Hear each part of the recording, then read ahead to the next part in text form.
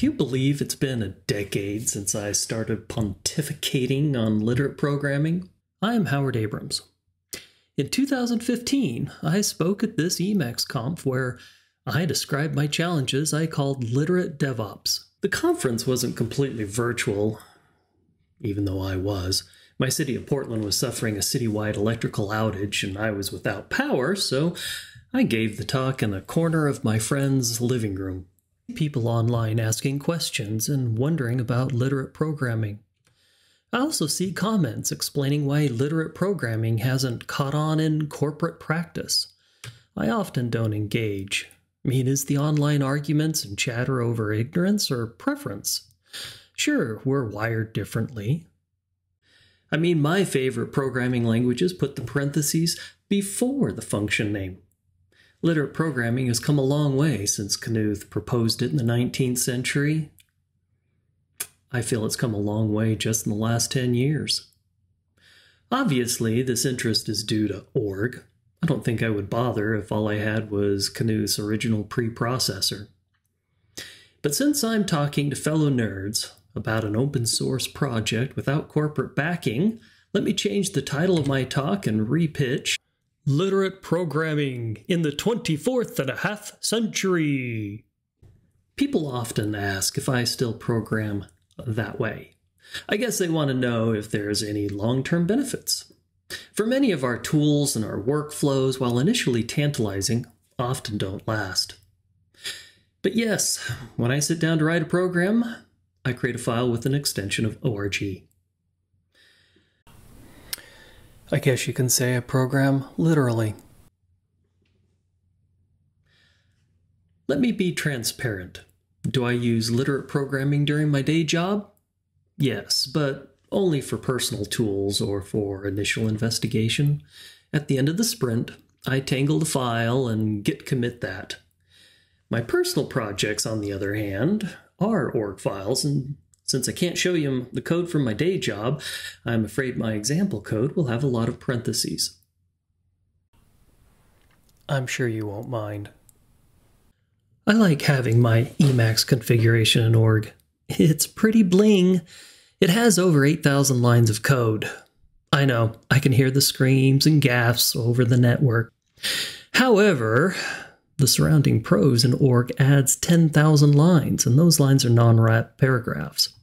I mean, is that large? I mean, sure, we've all worked on larger, so I guess it's not huge. But come on, it's still significant. Advantages. Look who I'm talking to. I'm sure you know the advantages, but indulge me. I feel that one advantage of literate programming, especially with large code bases, is how you can organize and manage the complexity. Most programming languages tame large bases by putting code in separate files. While org can too, with org we can group related functions together under expandable headlines. Uh, here's one. You can kind of see that I've got different sections grouped together. In my original talk, I mentioned how I would attempt to organize my thoughts before coding. I appreciate how I can look back at my notes. In my Emacs configuration, I review the prose to help memorize key bindings. My section on getting email working with Emacs using notmuch means creating small collections of scripts and configuration files. I can tangle them all from one org file. I like that I can explain each part separately. You just can't beat having links back to Stack Overflow or that GitHub repo where you stole, I mean, became inspired to write your code.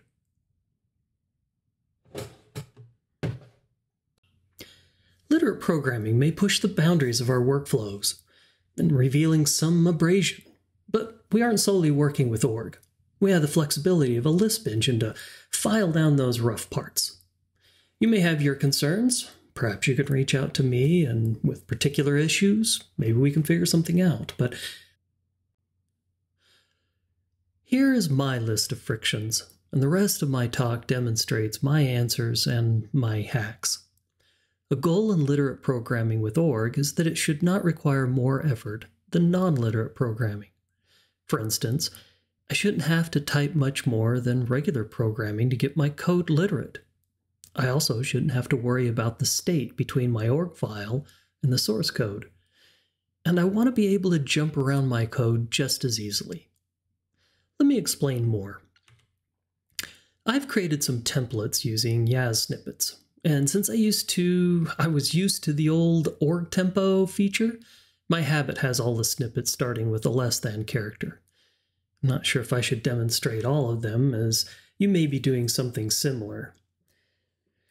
I like to build on top of characters to remind me that if I just enter a less than s, I need to put in the language. But if I append a mnemonic, I can get a full language. So why not do that with a full function definition?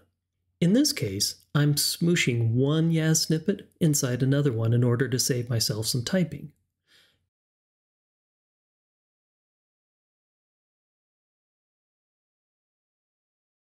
My point here is to pay attention to what slows us down or hinders you from getting the advantages you want.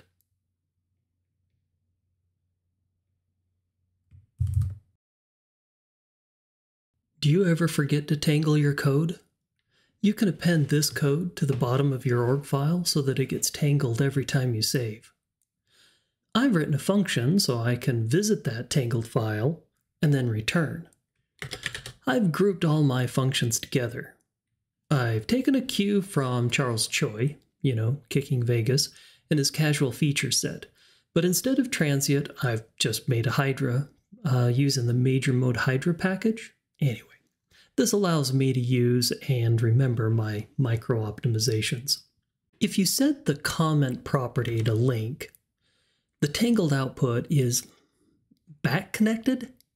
This allows us to edit the tangled code and have it update the org file. Personally, I don't like this. My source of truth is the org file, and I tangle as a one-way diode.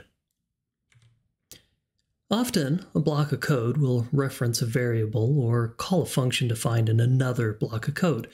In my original Literate DevOps talk, I discussed how to use the output from one block into another block by naming the first block and referencing it with a var for the second.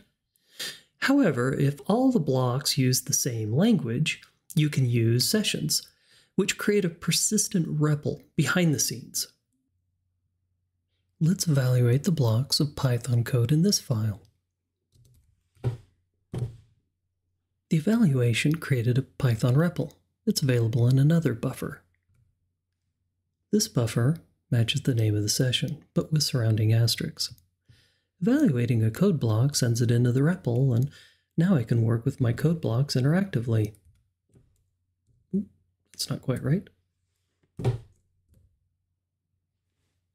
I primarily hack an Emacs Lisp, and textual changes to variables, functions, or macros, unless you habitually type Control-C, Control-C, may not represent the state of your machine.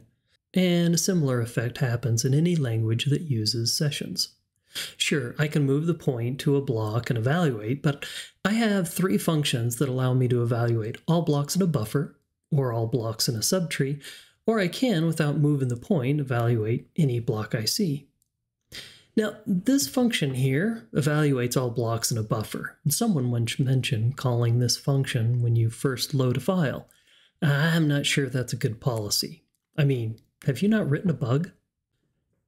Since this function right here evaluates only visible blocks, we can limit what Emacs evaluates to a single org mode section.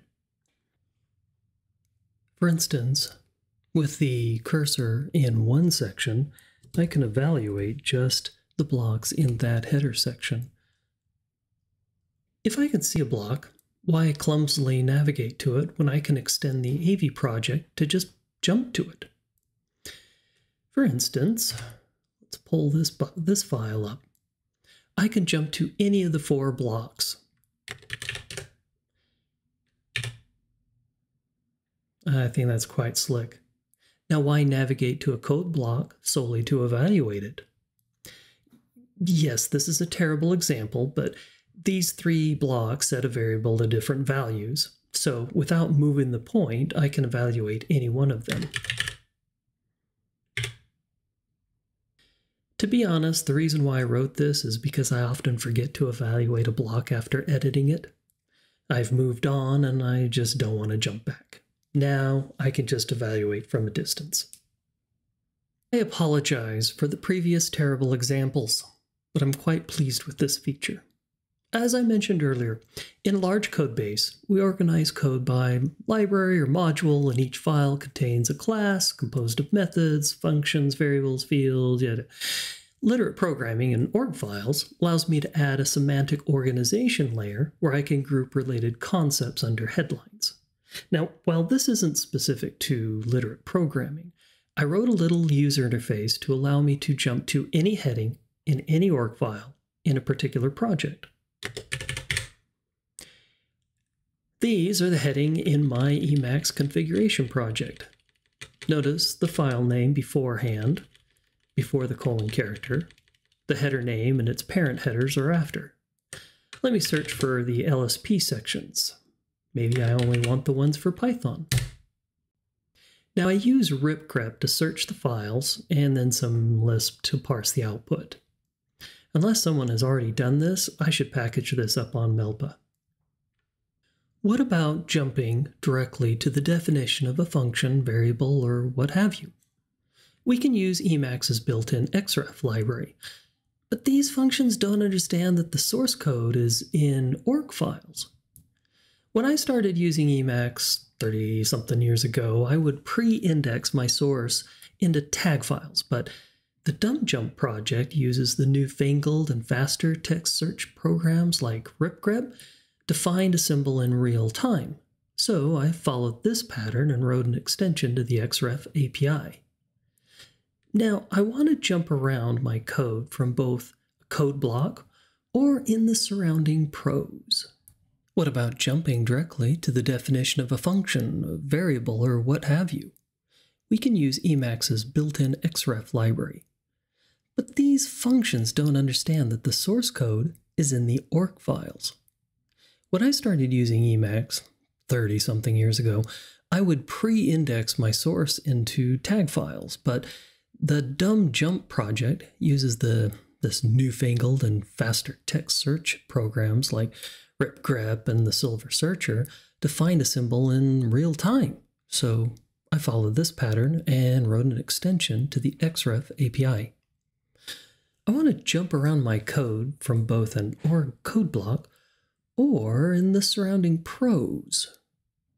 Now, I'm sure it comes as no surprise that my presentation is just an org file. Let's suppose my cursor is on this symbol. I wrote this function for this demonstration. We can jump to the definition, and I can jump back. Notice it jumped into an org file and back out. References, unlike definitions, is where something is defined and where it's used. Well, you know how the XREF system works. Here I can jump to the definition or, you know, where it's used. And of course, jump back. I think this is cool.